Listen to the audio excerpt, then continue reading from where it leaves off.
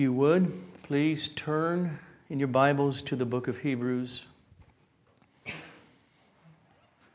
Chapter 8, our passage this morning is Hebrews 8, verses 6 through 13. I'm going to open with prayer, and then we'll read our passage as we work our way through it. Father, let us revel in history, your history, your providential history. Let us see your dumbfounding ways.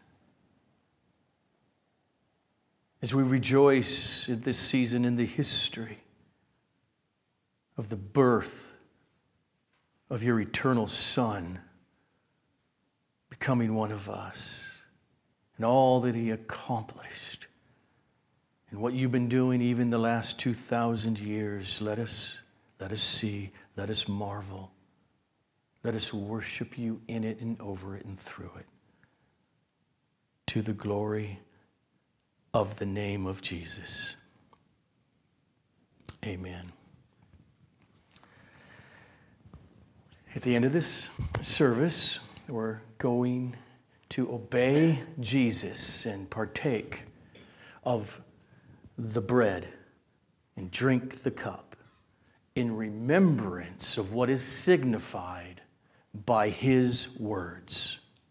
Quote, This cup that is poured out for you is the new covenant in my blood. So notice Hebrews 8, verse 6.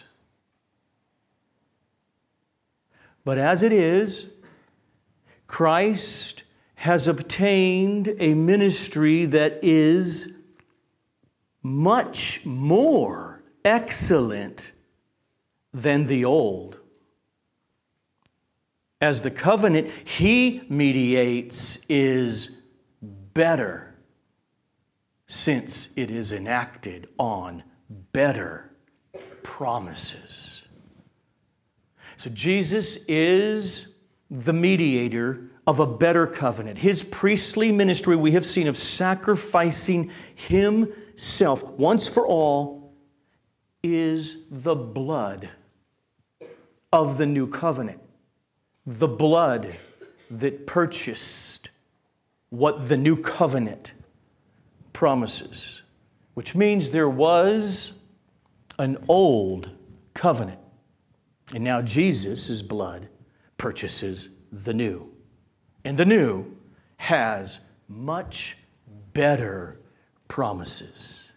And the better promises of the new covenant are those which are prophesied by Jeremiah in Jeremiah chapter 31, which the writer will now go on to quote. But before he gets there, he starts his argument in verse 7 now. For what? For the new is much better than the old. Verse 7 For, here's the argument, for if the first covenant had been faultless, there would have been no occasion or reason to look for a second.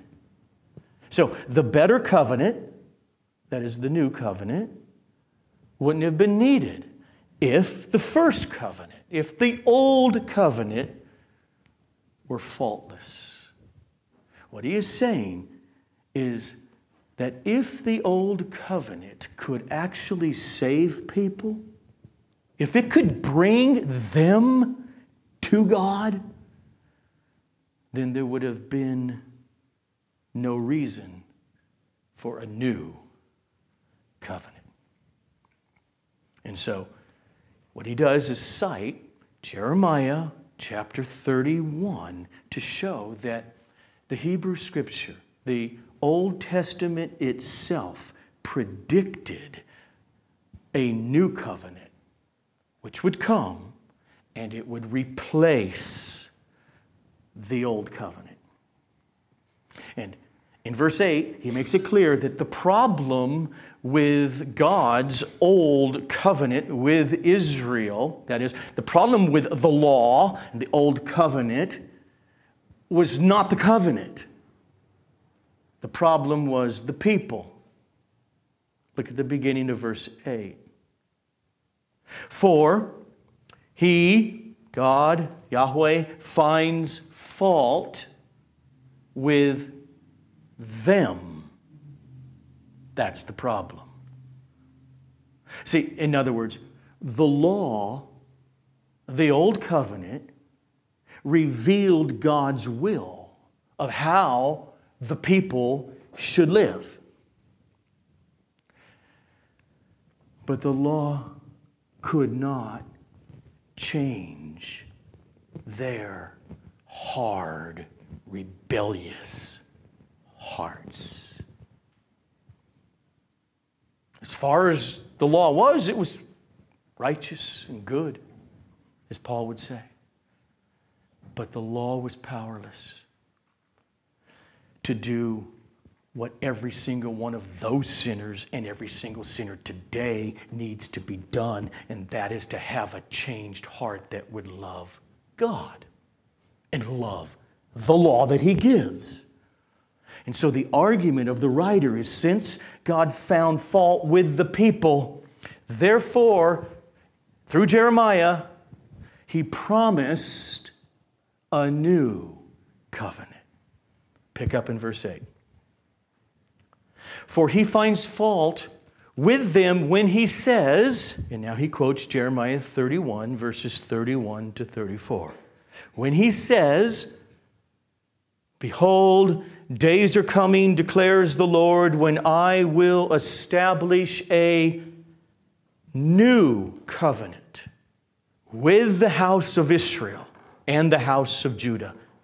Not like the covenant the old one, that I made with their fathers on the day when I took them by the hand to bring them out of the land of Egypt, for they did not continue in my covenant. And so I showed no concern for them, declares the Lord.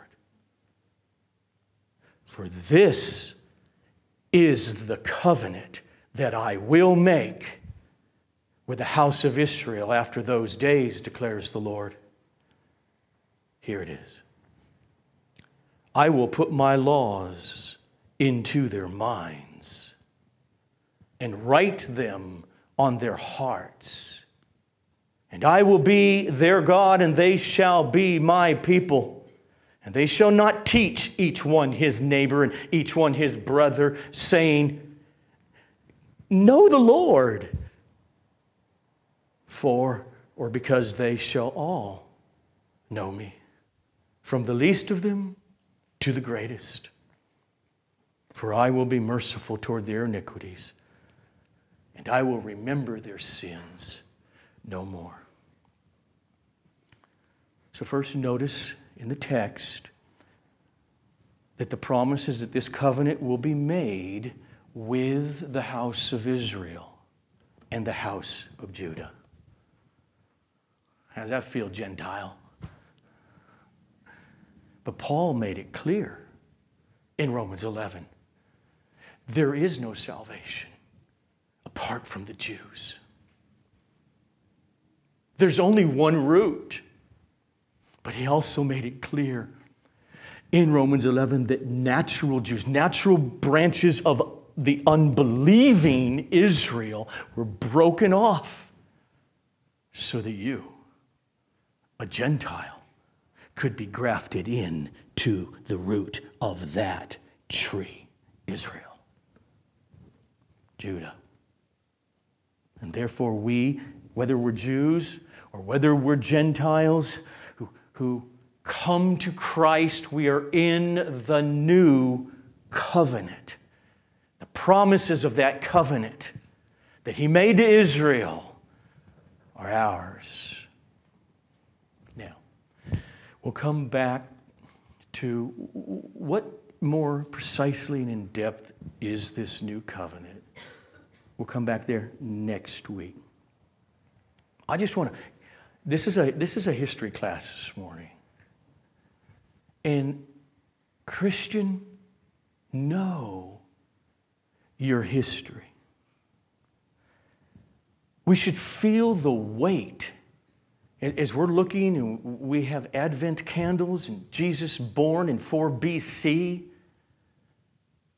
but crucified in 33 AD, we should feel the weight of what he, that person, that ministry of Jesus, the gospel meant as an explosion within the people of Israel. And it's summarized in the next verse, verse 13. After the quote, the writer says, In speaking of a new covenant, he makes the first one obsolete.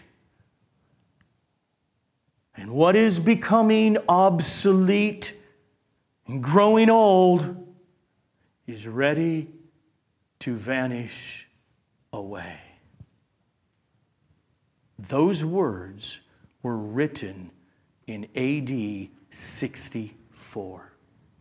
And as you read, and we've been going through this whole letter to the Hebrews, these, these Jewish Christians mainly, that it's written to, the assumption behind everything is that Jerusalem, the temple, the Levitical priesthood, the sacrifices, the burnt offerings are all still presently going on during the writing of what we're reading. And this prophecy that he quoted was Jeremiah's 600 years before the writing of this, which started the countdown to a time when the old covenant, with its outward forms and systems, would disappear. Listen again, verse 13, carefully. In speaking of a new covenant, he makes the first one obsolete, irrelevant. And what is becoming irrelevant, obsolete, and growing old is ready to vanish away. That is a prediction that the writer is making. The old is becoming obsolete. It is going to happen. It hasn't totally yet at the time of the writing. let me just pull back. We should feel, as, as fellow human beings, with those who have not been affected by the grace of the Holy Spirit in the hearing of the gospel of Jesus as a Jew in the first century, as many other brothers and fellow Jews did. They didn't. You, you got to feel historically how threatening Christianity was to the Jews, to everything that they had built their lives around culturally, ceremonially, re- religiously. All the prescribed ceremonies centered in Jerusalem, pilgrimages, if you lived in the diaspora, were made. Sacrifices were purchased and animals slaughtered. Passover, washings, food laws, all of it. So go back in history, AD 30 to 33. What's happening there within the land of Israel and around Judea and Jerusalem is that th- there are some Jews who are proclaiming that the Messiah is here. He's, his Jesus Yeshua, Joshua from, from that little stinky town of Nazareth. But the vast majority of the Jews did not accept that message. And thus, their rejection resulted in the crucifixion of Jesus from Nazareth. And then subsequently, from the persecution and death of numbers of his followers who, who were proclaiming after his death that he was raised from the dead. Why were they so upset? Because they knew that the gospel claims were a huge threat to their way of life. Let's look at the very early history book, book of Acts, for a moment. Turn to chapter 6. Remember Stephen? He's also a Jew who now believes in Jesus, and he's preaching in the Greek speaking synagogues throughout Jerusalem. And what, what was going on?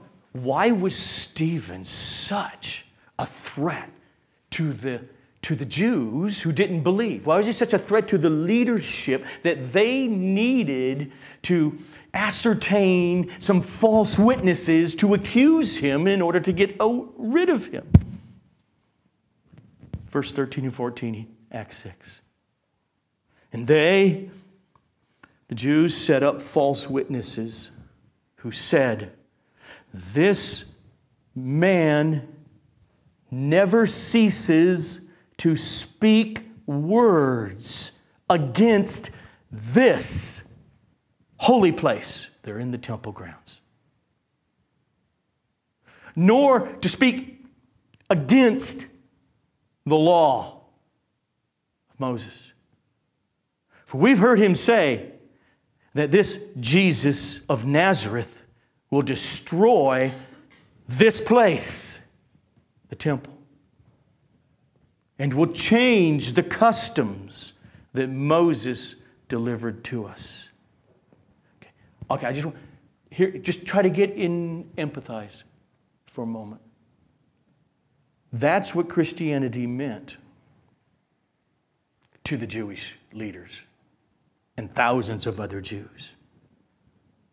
It meant to them the destruction of the old ways, of the temple service, the priesthood, the animal sacrifices, ceremonial law. It meant, as the Hebrew writer has told us here, it meant to them the vanishing, the disappearing of the first covenant.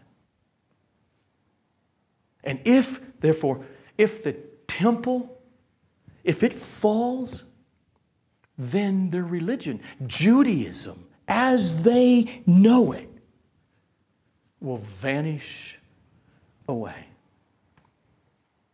Judaism will become something different than what it was.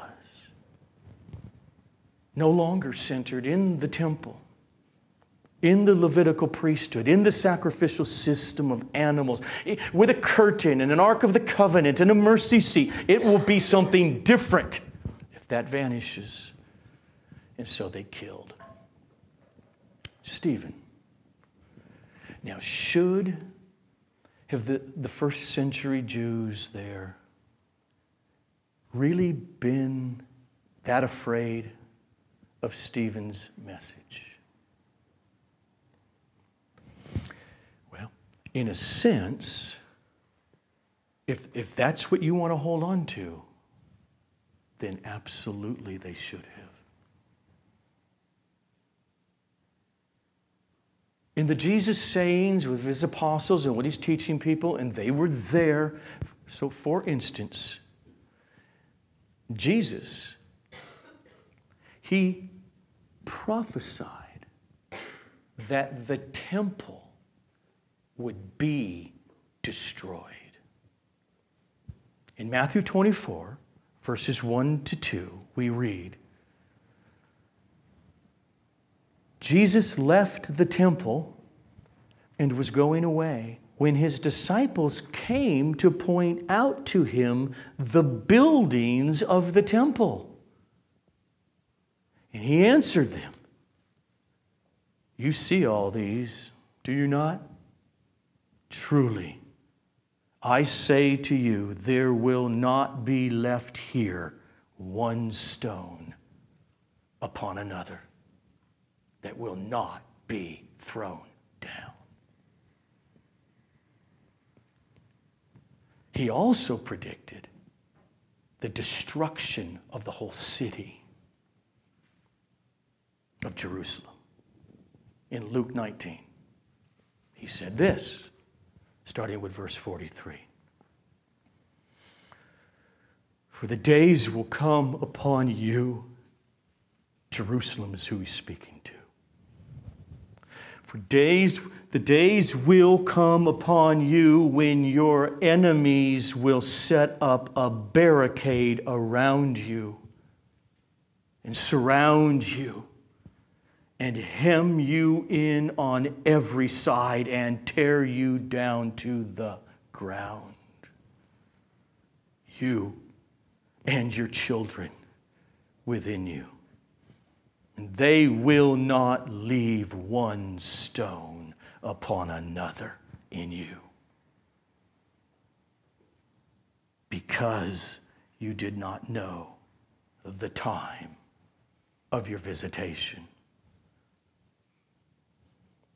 Jesus made it clear in his sayings we've seen over these last few weeks that he's replacing the temple and the priesthood. Kill me, and I will raise this temple, his body. I'll raise it up in three days. When I die,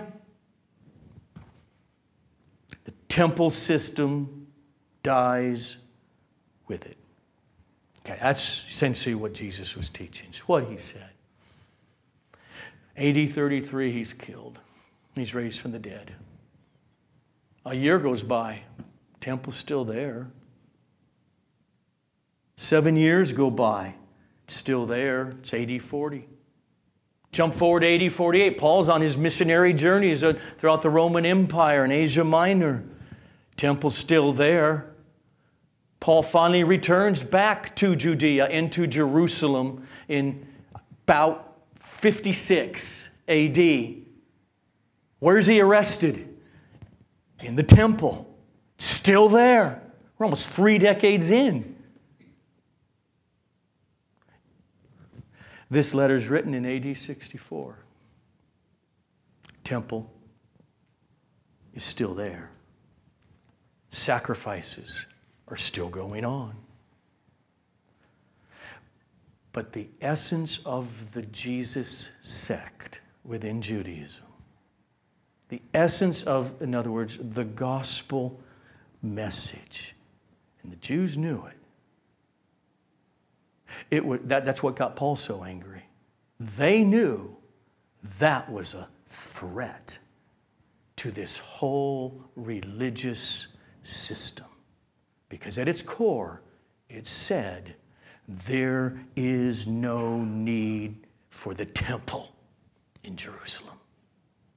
No need for any more sacrifices by the priest. The reality has come to replace the shadows that pointed to the Messiah. And the Hebrew writer says in our text now in AD 64, it's ready. It's close to vanishing away.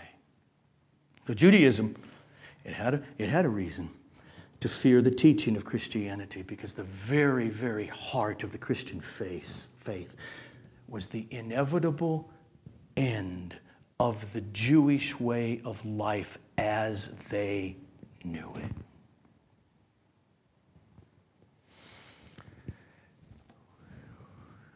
We're almost 2,000 years later now. So we can look back at history and we know that what Jesus prophesied came to pass. We know the temple and all the sacrifices and the priesthood all came crumbling down. Just briefly, what, what, what happened? We, we know, everyone knows, when we celebrate this, we know. Pilate, working for Rome, we know. The Jews hated the Roman occupation of their land in Jerusalem. They wanted independence, many of them. But, you know, you had, so you had little sects. But now, 30 years after Christ is crucified, three decades in, Paul's done most of his missionary journeys that we read about in the book of Acts already. The temple is still there. Paul's probably killed in the year AD 64 in Rome. This letter is written in AD 64. Two years after this letter is written, the Roman governor of Judea raided the temple treasury. And that caused a massive riot. And then it was put down and many of the Jews there were crucified.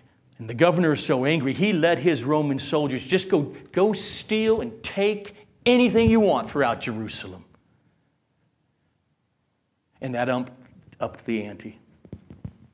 And a, not just a riot, a real revolt of the Jews happened. And they attacked the Roman fortress right next to the temple there that Pilate used in his day, and they killed a bunch of Roman soldiers. And that really got Rome's attention, and they sent the Roman general Vespasian with his massive army to put down the Jewish revolt. And he did throughout the land of Israel, but he didn't quite get Jerusalem yet by AD 67. And then he's called back to Rome because He's going to be the next emperor. And he leaves his son, the general Titus, in charge. And in exact fulfillment of Jesus' prophecy, he besieged the city and surrounded it and hemmed it in on every side for five months. People are starving to death.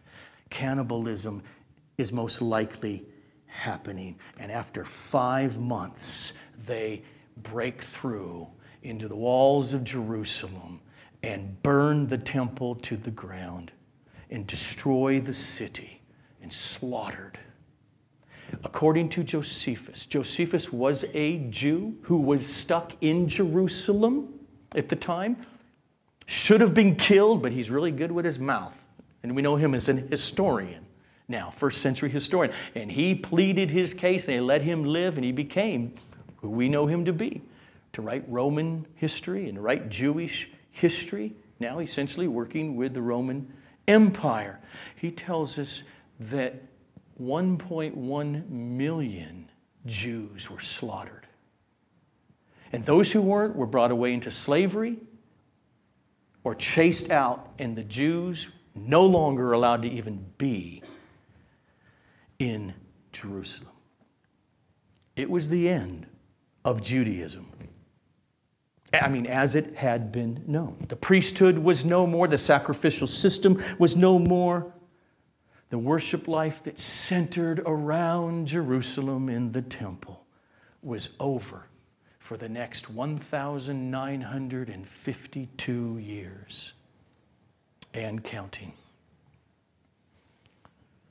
And so, having been scattered away from Jerusalem,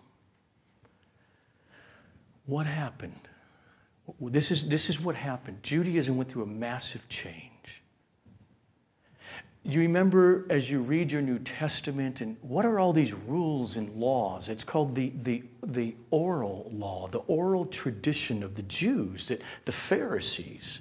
Uh, would, would pass down. And it's oral, it's not written, it's memorized, and it goes from generation to generation on, you know, 87, 870 different ways to keep the Sabbath, etc. So you've got these oral traditions, and now the, the rabbis and the Jewish communities that were scattered away now from Jerusalem feared that we could lose all of those laws if we don't get them codified and written down. And so, for the next 130 years, that's what they did. And they wrote down the oral traditions. It's called the Mishnah. It was done by 200 AD. Then, over the next 300 years, in different places of Jewish communities, the rabbis would debate and try to apply and say, what does this really mean? And in other words, it's like writing big commentaries on the Mishnah and, and biblical Old Testament passages. And that all those writings are called the Gemara. And you put those together, that is what the Talmud is massive encyclopedia. This is what created what we know now distinctly as rabbinic Judaism since the fall of the temple in AD 70. Okay. AD 70, it had meaning. It was a horrific event. And its meaning was that it was a witness. I look, I'm going to, why am I free to say this? and I'm gonna let me just let me let me put a parenthesis here. Anti-Semitism is utterly evil. The hatred of Jews is utterly evil. But the reason I'm free is because of the scripture. It was a witness to the truth of Christianity because Jesus predicted it and it came to pass. It was an act of divine judgment. That's what Jesus said in Luke 19 that we read. These things will happen because you did not know the time of your visitation. You didn't recognize or receive God the Son, the Messiah. It was God's providential testimony that the coming of Jesus was what the book of Hebrews says it was the replacement of the shadows with the reality of Christ Himself. That's what's going on in Jeremiah's prophecy. That's what's going on in chapter 8, verse 13 of our passage. In speaking of a new covenant, he makes the first one obsolete. And what is becoming obsolete and growing old, is ready to vanish away in six years from now. Well, he doesn't know that yet, but we do. So, what we see happening in redemptive history is that the old covenant it gives way to the new covenant. And the new covenant at its core means God takes all the places and the forms and those shadows and what they pointed to, the reality, the meaning, and the law and morality and his moral law. He takes all of that. This is the new covenant. And he puts it into the hearts. It doesn't remain on a page, external, it goes internal. And we'll come back to that next week with the new covenant. But what now? But I just want to make sure we deal with that really crucial verse 12 this morning. Then, how could God do that? In other words, what gives him the right to be so merciful with a new covenant? Which at its core means without your permission, he comes and saves you. And the answer is verse 12. For I will be merciful toward their iniquities. The new covenant people. And I will remember their sins no more. Now, that, that's the end of the quote of Jeremiah here in the text. It begins with the word for. I mean, here's for. Here's the foundation of what? Of what he, of the promises of the new covenant that he just quoted. Like, for this is the covenant that I will make with the house of Israel after those days, declares the Lord. I will put my laws into their minds, and I'll write them on their hearts. Mercy. How? The death of Jesus. That's what purchased the new covenant. This is the great promise of the new covenant that God would offer us guilty sinners the greatest possible treasure in existence his, himself in mercy. But, but that's not it, though. That's not all the new covenant is. It is that. But it's not that, and just leave it there. Go ahead. It's up to you whether you take it the new covenant is not only that offer, but then he would move in and act upon our hearts in order that we would definitely see it and come to him and enjoy him forever. That's the new covenant. But to do that, there's a huge problem. He can't just ignore sin. And we're all dead to God. We don't like his law. We don't like that he even is in control of me. That's a problem. So God couldn't ignore that problem and just, ah, no, whatever. Let me give you the greatest mercies available. No, he had to be just in dealing with us. if you know your Bible, you know I'm, I'm just getting this from Paul. He had to be and remain righteous while declaring us to be righteous. And the only way to do it was to reckon or impute the sins of all those who were purchased by the new covenant, to reckon or impute their sins onto Jesus on the cross and judge them there.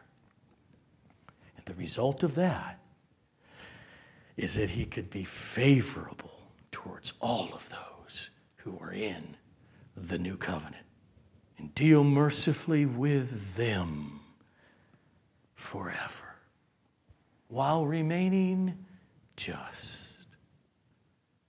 That's what verse 12 means. For I will be merciful toward their iniquities and I will remember their sins no more. This cup is the new covenant in my blood.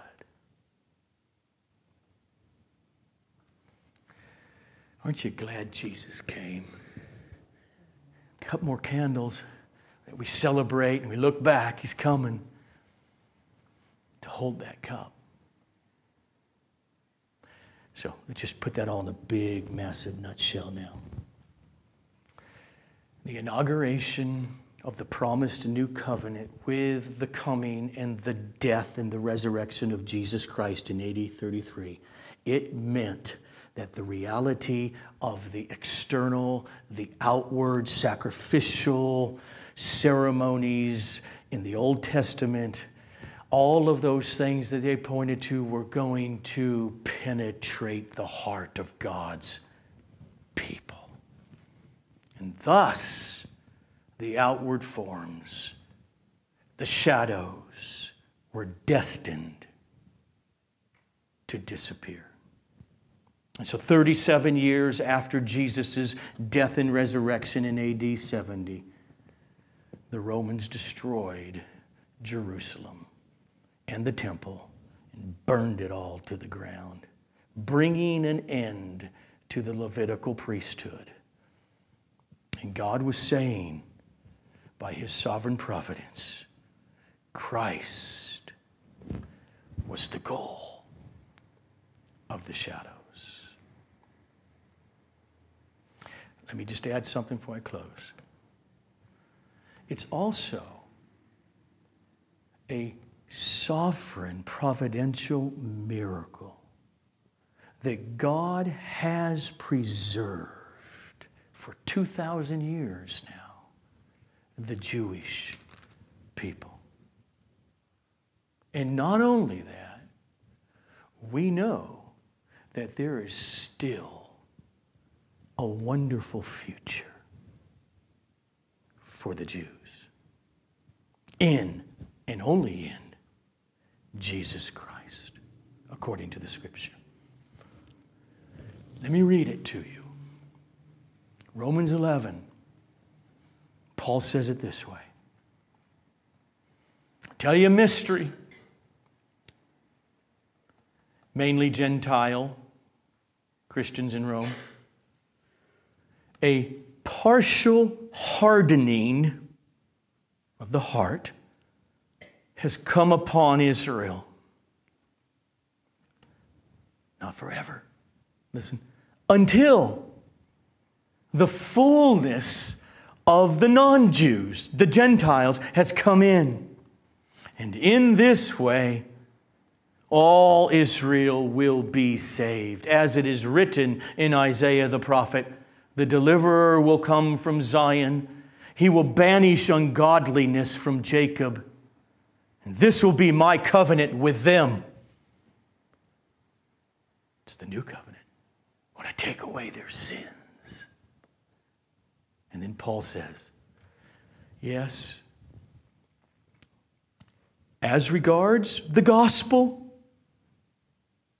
they are enemies of God for your sake. But as regards election, they are beloved for the sake of their forefathers, for the gifts and the calling of God are irrevocable. So, just as you, Gentile, were at one time disobedient to God, but now have received mercy because of the Jews' disobedience, so they also have now been disobedient in order that by the mercy shown to you, they also may receive mercy. For God, in His master plan, has locked up or imprisoned or consigned all Jews and Gentiles to disobedience so that he may have mercy on all from among the Jews and the Gentiles. And so there's a sense in which the existence of Judaism, even today, in, in its very transformed version of it, of rabbinic Judaism, meaning without the temple, without sacrifices, without a priesthood, that's a constant witness that the first covenant has vanished away. It's actually, at this season, say it this way, it, it, it testifies to Christmas. It testifies that the promised Messiah has come Jesus of Nazareth, and he has purchased and inaugurated the new covenant. Testifies that the, the shadows have been, been replaced by the reality. And we now worship God anywhere in spirit and in truth precisely because Jesus held the cup and said, this cup that is poured out for you is the new covenant in my blood. Let me close in prayer as our hearts are prepared by the Word of God to receive the cup, to receive the bread. Oh, Father, you're good. We thank you for your wonderful, special grace, Lord Jesus, by the Holy Spirit, in your bride, in your church, in your new covenant people. Never forgetting, but constantly turning to the cup, which was poured out for us, the blood of this wonderful new covenant.